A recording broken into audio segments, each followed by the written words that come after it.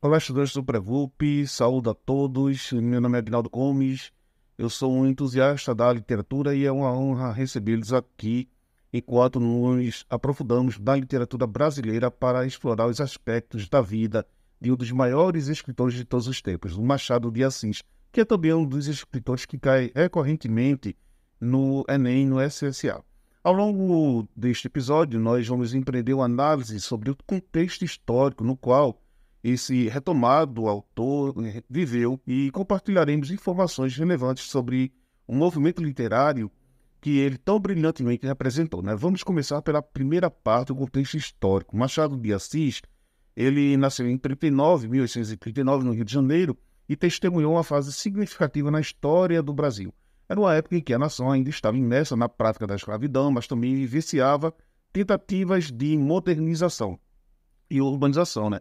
É, o Machado ele vai experimentar um período tumultuado, marcado pela Guerra do Paraguai, pela abolição da escravatura em 1888, né, Trata-se de um momento de transformação política e social profunda, que exerceu influência considerável na sua visão crítica e reflexiva acerca dos problemas da sociedade brasileira.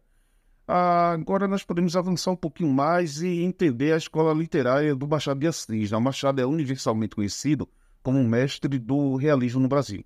Essa corrente literária predominou na segunda metade do século XIX e tinha como propósito principal retratar a realidade de forma crua, sem idealizações. Machado era um virtuoso na exploração da complexidade da psicologia dos personagens por meio da sua escrita. Suas obras eram um estudo profundo do comportamento humano, revelando intricadas nuances e contradições da natureza humana. Além disso, sua escrita era pontuada por uma considerável dose de ironia, sarcasmo né, desafiando o leitor a refletir sobre a sociedade e suas é, instituições. A abordagem realista adotada por Machado de Assis representou uma verdadeira revolução na literatura brasileira. Ao optar por representar realidades sem disfarces ou idealizações, ele rompeu com as convenções românticas que predominavam no cenário literário da época. Sua audaciosa incursão nas profundezas da psicologia humana permitiu que suas obras transcendessem o tempo, tornando-se atemporais. Em seus romances e contos, Machado não se contentava em retratar apenas a superfície das coisas.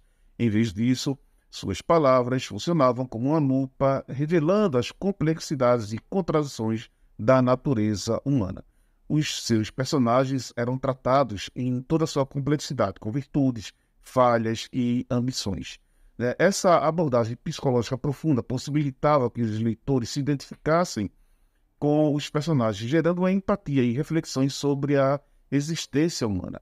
A ironia e o sarcasmo, que se tornaram marcas registradas de Machado de Assis, eram, usado, eram usados como maestria, né, como ferramentas para questionar e criticar a sociedade da época, por meio de diálogos mordazes, é, em situações irônicas. Ele expunha a, a, as hipocrisias né, e contradições presentes nessa sociedade brasileira apontando as injustiças e os problemas estruturais que precisavam ser enfrentados.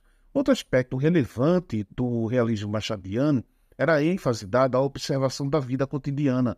É, em suas narrativas, ele buscava retratar os aspectos mais comuns da vida das pessoas, indo além dos enredos românticos e das tramas mirabolantes. É, essa valorização do cotidiano e da vida urbana era uma característica distintiva do realismo literário, e Machado se destacou como um de seus maiores expoentes no Brasil.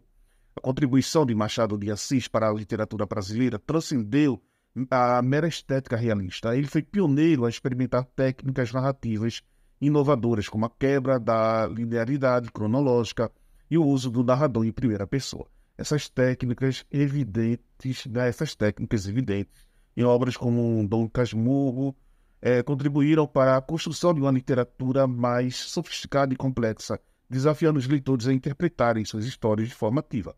Por todas essas razões, Machado de Assis ocupa uma posição de destaque não apenas na literatura brasileira, mas também na literatura mundial. Sua escrita, repleta de reflexões sobre a condição humana e as estruturas sociais, continua a ser objeto de estudo e de apreciação.